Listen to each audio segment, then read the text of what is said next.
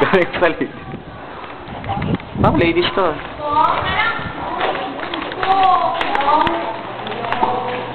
Kukong.